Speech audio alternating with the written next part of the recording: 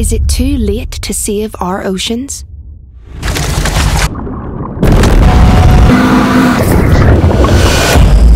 These people don't think so. Yeah, yeah, that's good. If we do nothing, the Earth faces the next great extinction event. We can revive our ocean health. We need to give back. These are the 2023 Earthshot Prize finalists, giving Earth their best shot to revive our oceans.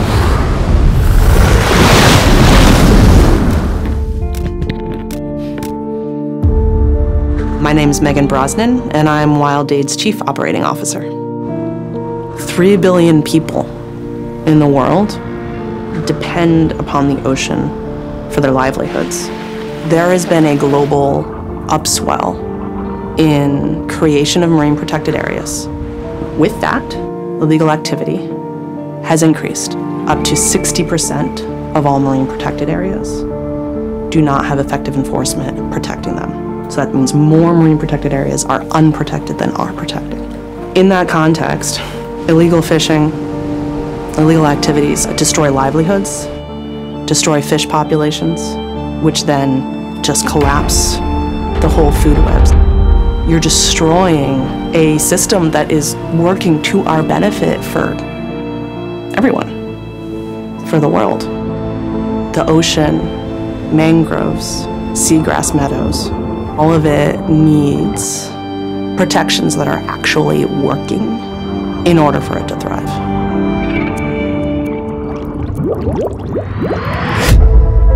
Coastal waters make up 22 million square kilometers of ocean, or about 6% of, of the world's ocean. But at the same time, they contain 70% of the world's marine biodiversity. That means 83% of coral reefs, 100% of the mangroves and the seagrass are all found in coastal waters. My name is Rocky Sanchez Tirona. I'm based in the Philippines and I am the Global Program Lead for Fish Forever at RARE. Uh, we helped start Coastal 500. 113 million people work in small-scale fisheries. Most of these are done in coastal waters. That means that over 500 million people depend on, on coastal waters for food and livelihoods.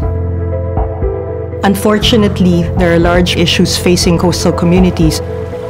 Overfishing, destructive and illegal fishing happening in their waters, along with pollution and then the impacts of climate change and extreme weather in the coastal waters, you need solutions that really work with the communities because they're the ones that are really closest to the resource and actually they're the ones that benefit most from protection and management.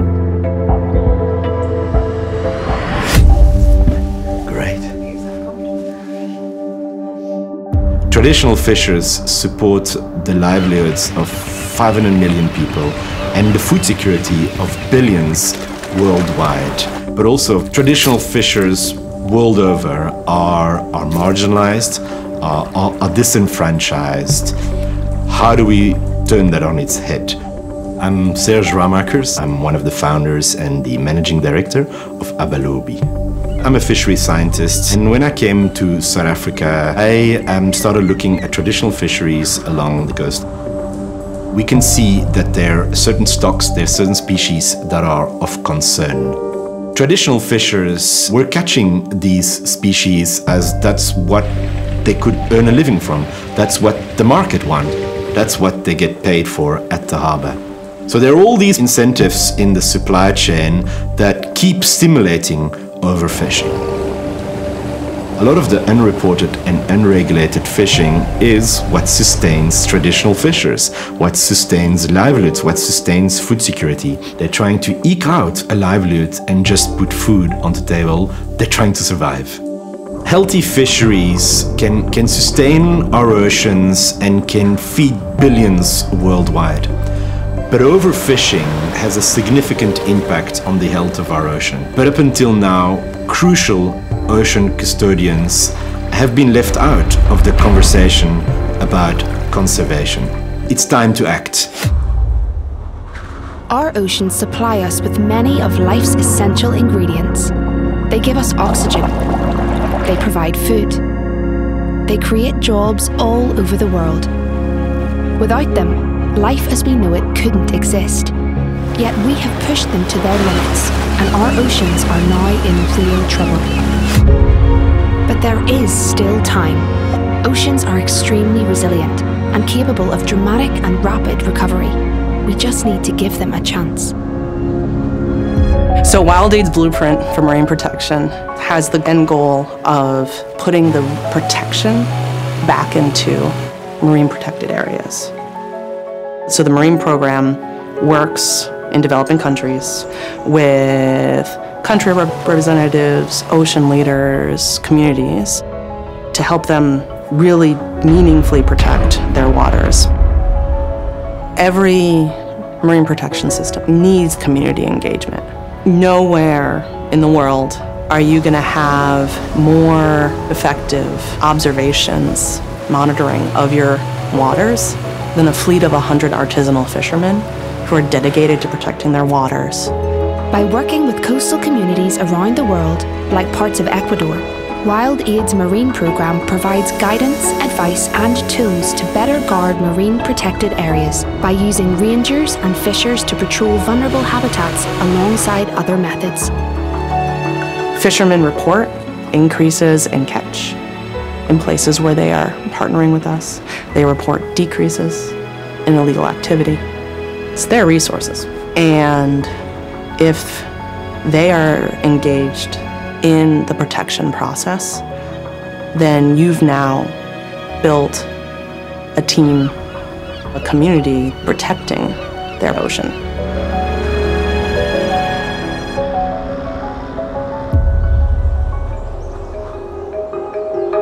Coastal 500 is a global network of locally elected government leaders who have come together and pledged to support their communities in protecting their ecosystems and their fisheries very early on, we realized that mayors or their equivalent are really the ones that can make the difference. Um, a strong mayor can really drive change and inspire the rest of the community to follow.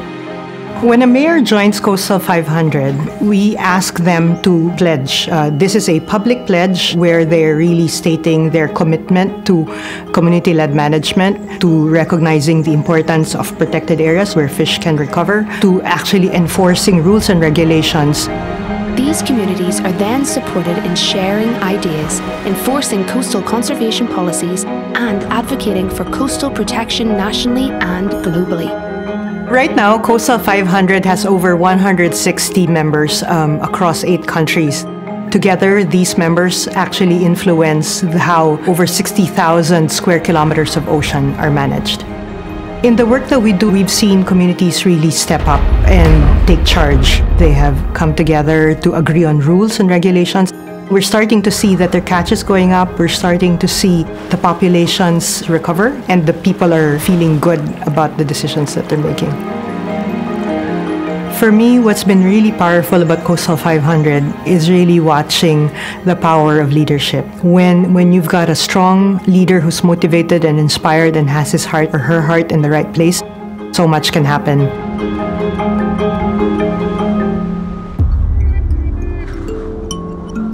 The name of our solution is Abalobi, which means fisher in isiXhosa, and it's the name that the fishers we work with gave to the program as it became theirs. Traditional fishers have deep local ecological knowledge about our oceans. They're at the front line of our ocean emergency, but they're also at the front line of the solution.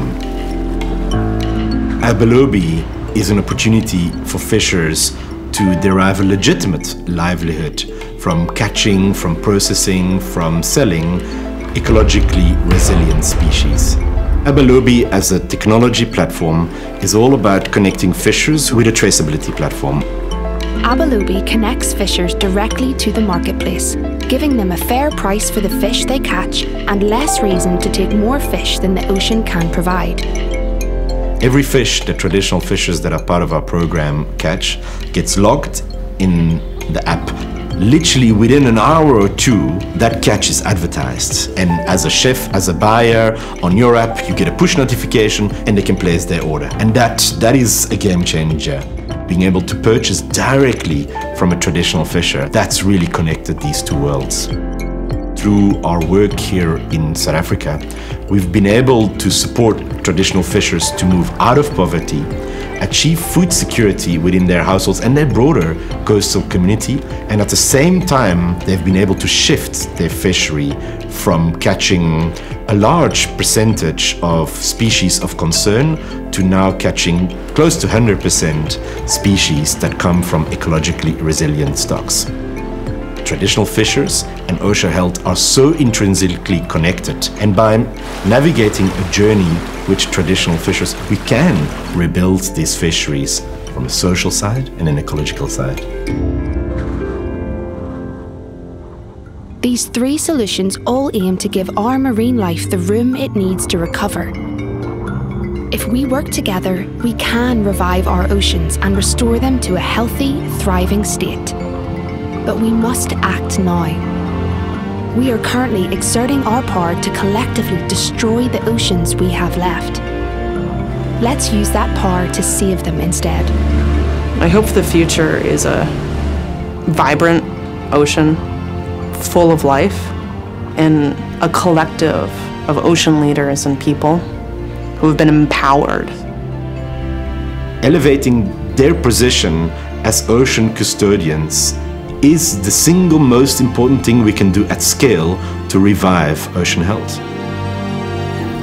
I think coastal waters are at that perfect intersection of nature and people, and we owe it to them to, to really protect these waters.